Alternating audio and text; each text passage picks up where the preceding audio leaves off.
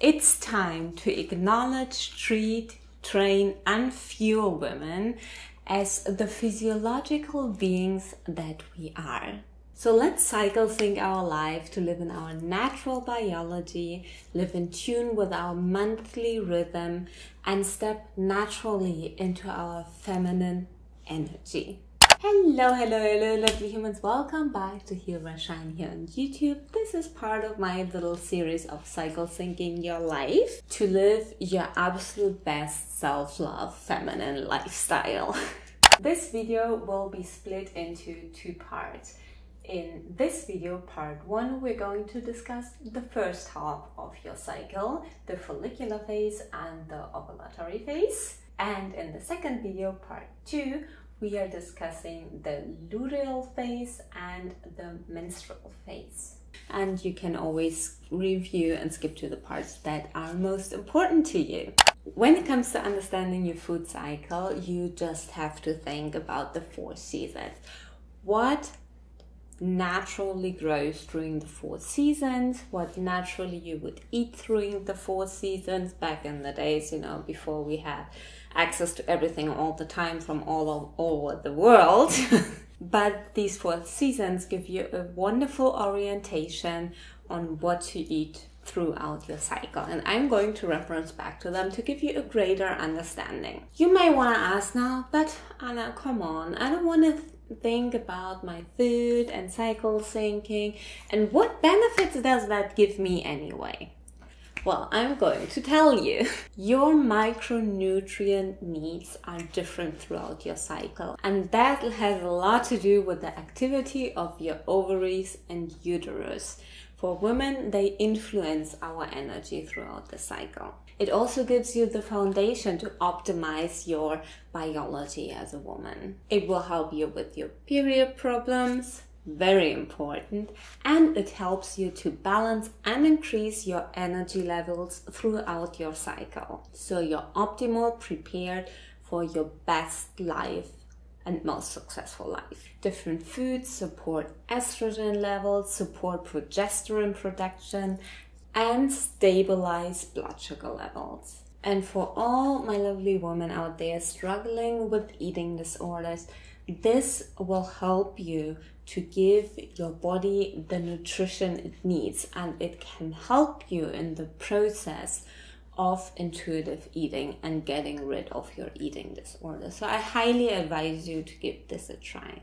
And as always, here's the disclaimer I'm no doctor, I did not study that stuff. I did, though, read a lot about the things. I will reference a lot from Alisa Vitti's book again, so go ahead, buy it, and read it for way, way, way, way, way more detailed information than I will give you throughout a single YouTube video. But I want to give you an overview into the most crucial information I think every woman should have. That's why I did the research and I'm going to give it to you split up into our different phases. Let's start with follicular phase, our spring season. During your spring season, what do we associate? Fresh and vibrant and light foods to support your energy everything is awakening slowly, right? Remember that? So you need foods that support your detoxification and help with your liver functions. You should focus more on plant-based compounds that mirror your estrogen because your estrogen in the beginning of your follicular is very low, right? But it needs support to get up and rise during towards your ovulation phase. So, focusing on food with mimicking your estrogen levels will help you in that process.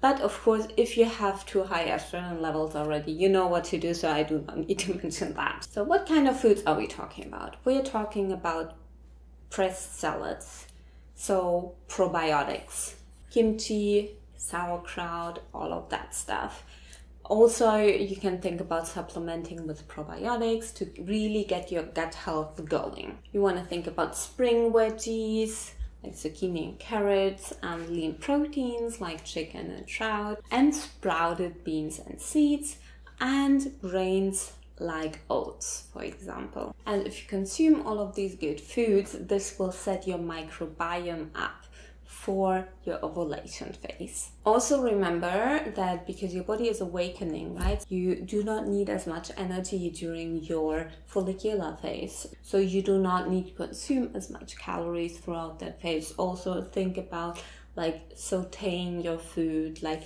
make it light, make it support your energy and help your body to wake up and come out of the resting phase you were in before. So when it comes to your workout, you will want to do the same. So we're talking energy supportive sports that support your cardiovascular activities. Do more like running and dancing. But also think about, we discussed this in the last video when we talked about energies, you're more open you're more open to new things. So just try out new sports, new cardiovascular, go to a new dance class, do you get the drill, right? So all of that is perfect during your follicular phase. And then we step into the holy goddess ovulatory phase. That's our summer season.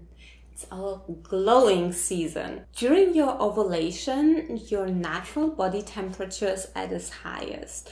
If you track your temperature, then you know that during that time, your body temperature is always higher when compared to your menstrual phase, it's at its lowest. To support or cool down the body a little bit, you want to think about all the raw foods. A lot of vegetable, a lot of fruits, and you can eat like a lot of salads, for example, to just cool your body off a little bit. You also want to think about foods that are high in fiber to balance out the spike in estrogen you have right now because a spike in estrogen can also cause acne and all of that stuff if you if you experience that during ovulation, that is your spike in estrogen. You really do not need a lot of carbohydrates during that phase. It is better to work with lighter grains like quinoa, for example, and that also supplements great with the salad, right? If you consume antioxidants during that time, that is also very great for balancing out your estrogen levels and to provide vascular su- support.